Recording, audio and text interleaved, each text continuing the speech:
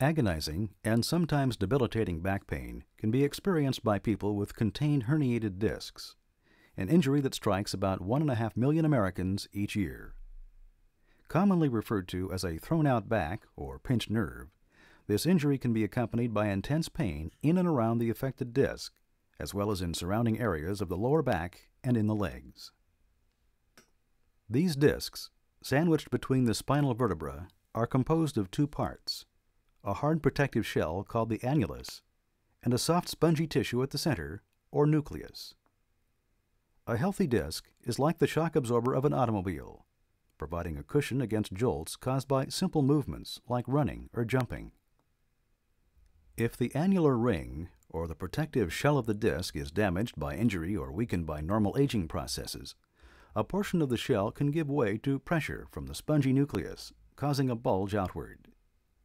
It is this unnatural bulge or herniation that often causes irritation to surrounding nerve roots in the spine and the pain attacks that go with it.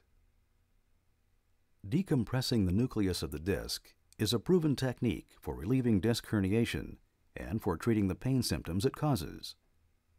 Disc nucleoplasty is a recent and significant leap forward in disc decompression therapy. Disc nucleoplasty uses a minimally invasive catheter to create an accurate 1 mm pathway into the disc. A micro-engineered alloy transmitter is introduced into the disc. Radio wave signals are sent through the transmitter into the jelly-like nucleus of the herniated disc. The radio waves produce a low-temperature ionized gas that breaks up molecular bonds in the spongy nucleus, dissolving tissue volume. When the injection procedure is complete, the transmitter is withdrawn. The removal of nucleus tissue relieves pressure on the disc shell, typically allowing the bulge to recede so that the disc no longer irritates the adjacent nerve root. Normally, the entire procedure takes 20 to 30 minutes, and the patient is ready to walk out of the clinic in about an hour with no hospital stay required. Patients are awake throughout the procedure and require only a topical anesthetic and light sedation. Disc nucleoplasty is designed to offer a fast-acting option to drug therapies and steroid injections on the one hand, and a minimally invasive alternative to open surgery on the other.